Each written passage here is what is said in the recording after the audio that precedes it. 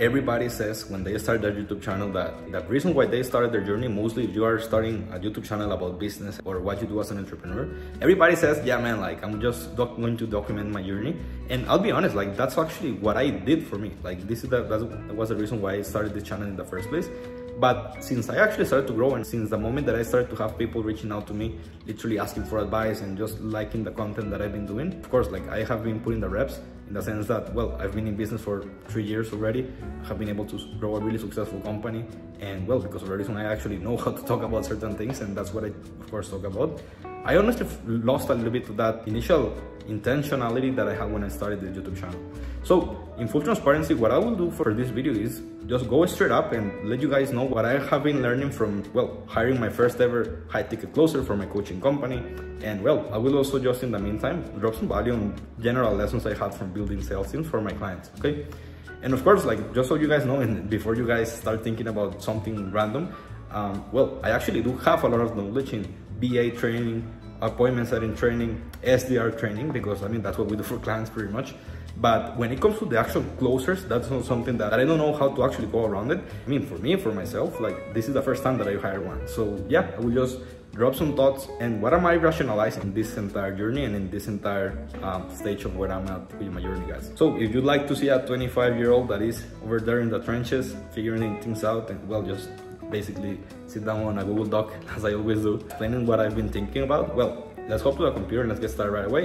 If not, well, you can just continue watching other, the other content that is about things that I do know a lot about and that I'm sure that you will enjoy, okay?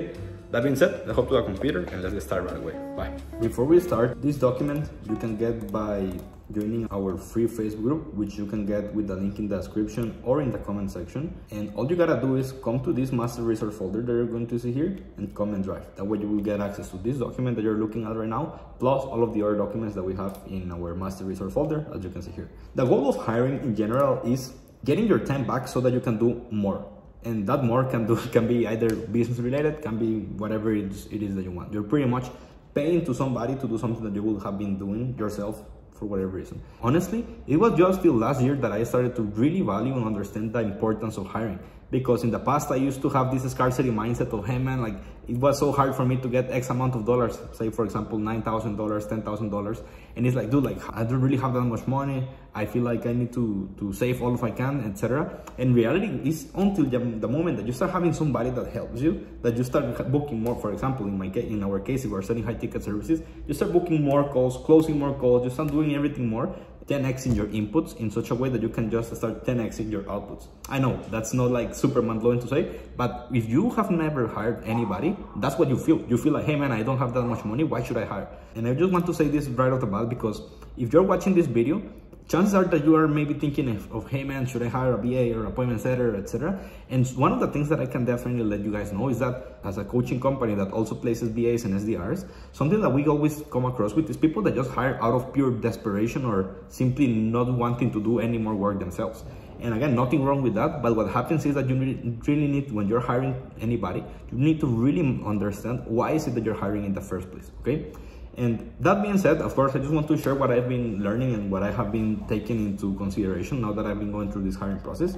And the first thing that I want to say is that some of the trainings and people that I've been learning from when it comes to hiring uh, closers and sales team is number one, Cole Gordon. Like if you actually go to his channel, uh, well, he's actually one of my mentors and most of the things that I know about sales and things that I know about building sales teams, etc come from him, okay? So Cole Gordon, Alex and Leila Hormozi, they have some incredible trainings. And last but not least, the single most valuable training that I found to build my sales team and in this specific case, my, my closing team, like the people that just are going to close my sales calls, is from a podcast called How to Scale an Agency. This podcast is actually by two or three guys um, from Jordan Ross, Lucas James, and another guy that I don't, honestly don't know who what his name is. But this podcast, they, they have an episode that they published on October or September of last year, if I'm not mistaken. And it's literally about, it's literally called Build a Seven Figure Sales Team. And I mean, like, I've been hearing to their podcast for a while already. And honestly, they've dropped lots of bangers, lots of value, okay? And honestly, that this entire structure that I'm following, it was taken from a single podcast, to be honest. And yeah, uh, I really just want to mention um, that so that you understand like, what are the things that I have been consuming that have led me to believe what I believe, okay? Before I go over the process and the actual rationale behind me wanting to hire a closer and the actual process that I'm following to hire my closer, I just want to let you know why am I hire a closer right now, okay? And the simple answer is honestly just because I have more leverage if I actually hire a closer. Not only in terms of time, aka like I don't have to attend the sales calls, but it's because I can actually dedicate more time to the things that I'm actually great at. So, for example, I'm great at booking calls. Like literally have zero problems with appointment setting. Like for me, booking calls is the easiest thing on earth. Mostly if you top it up with our actual inbound prospecting process, and if you have such a great VA team like I have already. But guess what? I'm not. I'm honestly really, really bad at closing those calls. And because I'm stuck at that situation, like that's the reality that I'm at, then it makes sense for me to actually hire a closer now. Most people would advise you, hey man, closing is the last thing that you want to delegate because the first thing that you want to delegate is the actual outreach, the appointment setting, uh, fulfillment, etc. If you're running an agency, I do agree. I do agree, believe that you should be, if you're running a, for example, a PPC agency, a Facebook ads agency, any sort of paid ads agency, honestly, any sort of agency, the first hire you should have is some fulfillment or client success. But if you're a coach or a consultant or you're running some sort of more productized service, I do believe that appointment setter should could be a better hire if you are good at closing or sales. Or if you are like me, like you are not that good at sales and closing, um, well, hiring a closer and you still doing the appointment setting can do can be a better idea. So that's the rationale behind me taking this decision, right? And I'll be honest, guys, like now I'll be able to book more calls and someone that's better than me at closing will be able to will be able to close more calls. This is in sum the main reason why I'm doing things like that. Now, again, I just want to remind you what I said just a couple of minutes ago. If you, for whatever reason, are really just hiring out of desperation because you simply don't want to work more, then guess what happens? This is not going to work. In my case, let me just show you. Like this last week, for example, we have been really just focusing on improving the quality of our program, as you can see here. Well, let me just show you. Like, well, these are the models that we have in our paid program, right? And realistically, I have been wanting to, for example, everything that in purple, I, I have been wanting to uh, improve, update, etc. Because honestly, our program is super long. There are lots of things inside, like literally hours and hours of content. So because of that reason, guys, plus the fact that I'm looking to hire a setter, this week we really decided not to book that many calls. But still, guys, let me just show you. This week, 10, 15 calls. Like last week, we had 20, 30 calls or something.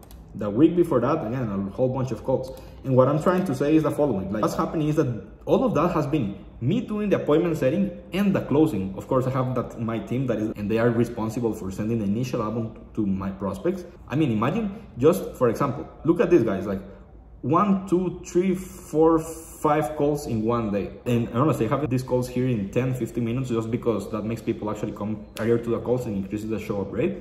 But honestly, these are, these are calls that take 20, 30 minutes each, approximately. So that would be by that already like two, three hours per day. Imagine two, three hours per day minimum that you are losing just taking calls. That is time that you can be spending creating more content, doing more appointment setting, doing more follow-ups, or literally whatever it might be, improving the product, etc. And for me, it's just making a lot of sense because it's on top of that, just on the fact that I'm literally not that good at, at closing, I'm way better at other things then guess what's going to happen? It's just more and more leverage, okay? So that's the rationale behind doing this decision. I want to share an important note. This is not to say that then you can have someone, someone that is better than you at anything and run a business just like that. Like, for example, if you are just getting started from scratch and you are like, okay, man, uh, I have a little bit of money because maybe I have a nine to five. Let me hire a closer. Let me hire a, a client success manager. Let me hire an appointment setter. Let me hire VAs it's not going to work if you do it like that because you really need to learn basic skills for everything because if you don't have a strong foundation first of all people are not even going to respect you. Your closers are not even going to have any sort of um, incentive to close people because they are not going to believe in the product. So for example for us why does this work? Well first of all because we have a bunch of case studies and testimonials because we already have a validated offer and overall messaging that is on point because we already have fulfilling and delivery systems because we already have a process to support growth and operations because we already have an appointment setting system to predictably book calls. Like just because of all of these things are in place, and hire a closer right now without having to break a sweat, as they'd say. There is only one exception, and just want to make sure that this is um, understood by all of you guys. And it is that if you have an offer, like you already know what offer you're looking to push to who, and you're pretty much good to go in the actual foundations of your business, and then you have the right guidance, you're looking to work with us and you're just a beginner, of course, in that case, we also can help you out. Um, you can have prospecting VAs or Roiland's SDRs if you value your hourly rate at more than $3 per hour, okay? This is the only exception I would find if you are really just a beginner. And the main reason why is because, of course, if you are just a beginner, we already have people that can do just the heavy lifting that is actually really hard for you. Like doing the initial outbound to people on Instagram or on Facebook or on Twitter or on whatever it might be, right? That's something that is really, really important because right now, if you're a beginner, of course, what's going to happen is that you need to find, because we already have people that are going to find your leads, that are going to do that initial messaging to them. Like the heavy lifting of the actual outbound messaging is going to be done for you. Absolutely. We have those people, like, let me just show you again. Like for example, so that you can see on our actual program, the one that we use for, for training VAs, etc.